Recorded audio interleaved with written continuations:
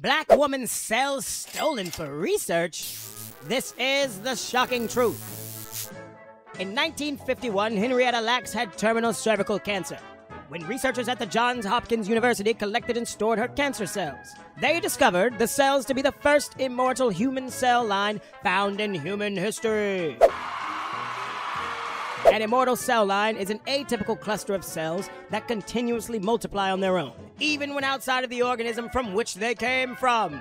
Lacks cancer cells enabled scientists to study human cells outside of the human body. However, all of this research was done without Lacks's knowledge or her consent. I don't know if you're allowed to do that. The researchers shared them widely with other scientists, and they became a workhorse of biological research. Today, work done with HeLa cells underpins much of modern medicine.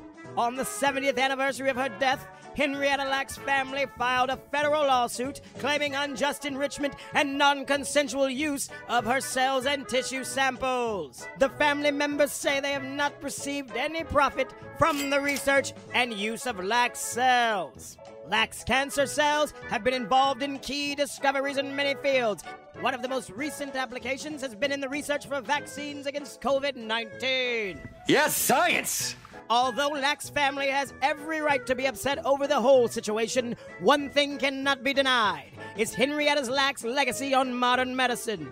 This has been The Shocking Truth, brought to you by dherbs.com.